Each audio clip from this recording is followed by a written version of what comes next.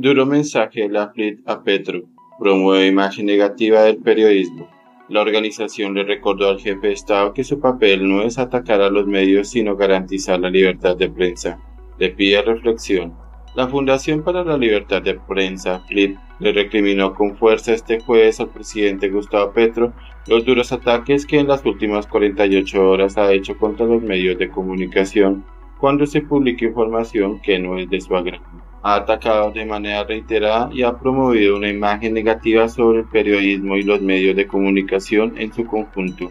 Sus mensajes terminan restándoles credibilidad buscando presionar la agenda mediática para que aborde favorablemente su gestión, expresó la agremación.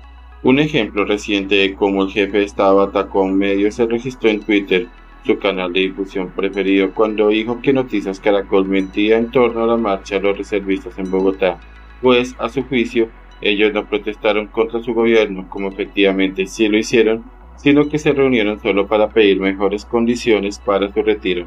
Miren este medio de comunicación tratando de dividir la fuerza pública del gobierno, fue lo que dijo el mandatario citando la noticia.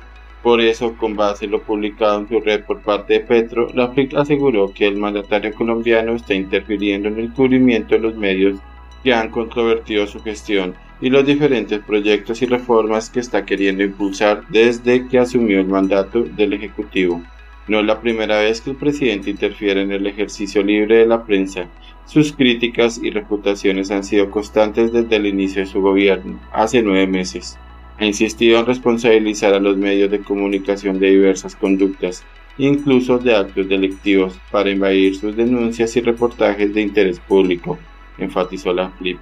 La fundación además expresó que las declaraciones de Petro han afectado a periodistas individualizados por el mismo en sus redes sociales.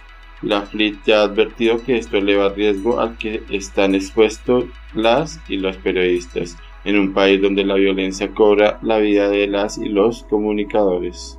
Otro ejemplo al que se refiere la organización que propende por la libertad de prensa del país es el mensaje que sacó Petro cuando hizo eco de las declaraciones de Salvatore Mancuso ante la JEP en torno a una serie de columnas de opinión que publicó finalizando los años 90 el ahora ex vicepresidente Francisco Santos en El Tiempo. Esto, como se sabe, no compromete una postura editorial de todo un medio. Ante esto, Petro dijo, el paramilitarismo no fue sino una alianza al narcotráfico con buena parte del poder político y económico de Colombia y un sector de la prensa tradicional para desatar un genocidio sobre el pueblo. Por esto la FLIT enfatizó que las actuaciones del presidente Petro no son coherentes con el trabajo que ha anunciado el gobierno desde el Ministerio Interior para garantizar la libertad de prensa. Con sus acciones se aparta del deber de prudencia que le asiste como mandatario y utilizar las vías institucionales.